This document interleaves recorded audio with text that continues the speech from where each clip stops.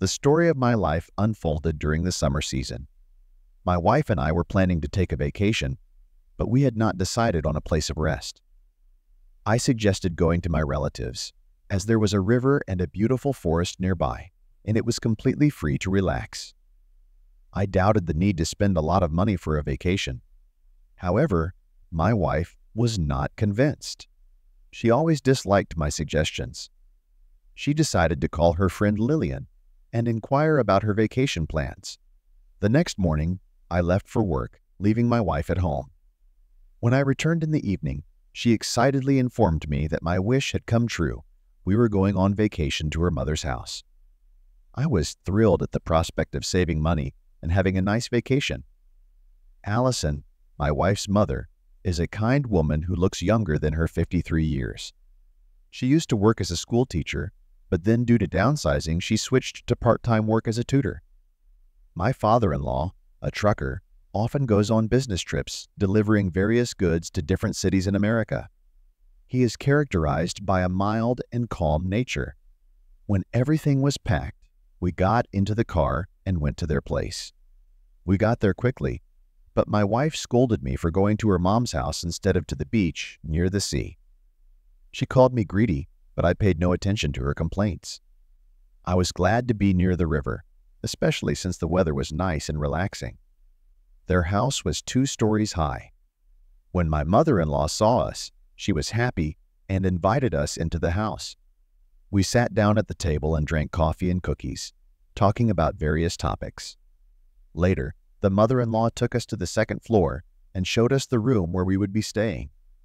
Feeling a little tired, I told my wife that I would take a shower before going to bed and go to bed. She went downstairs to chat with her mother. The next morning, my wife woke me up and told me to have breakfast and then go to the river to swim and sunbathe.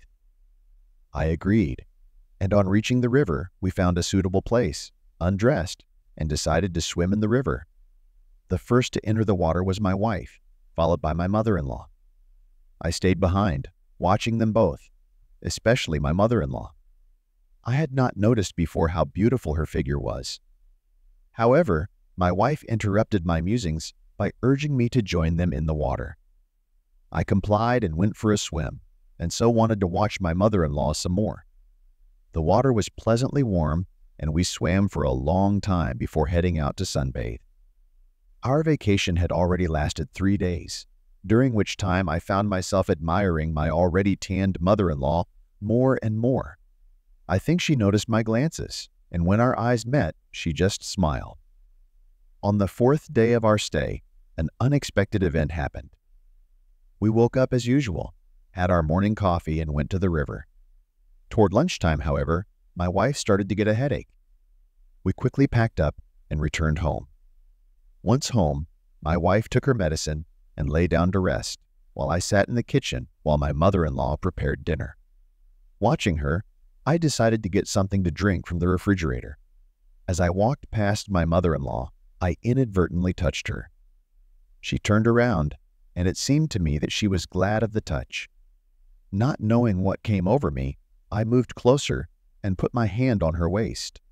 To my surprise, my mother-in-law didn't resist. Moreover, she seemed to want it.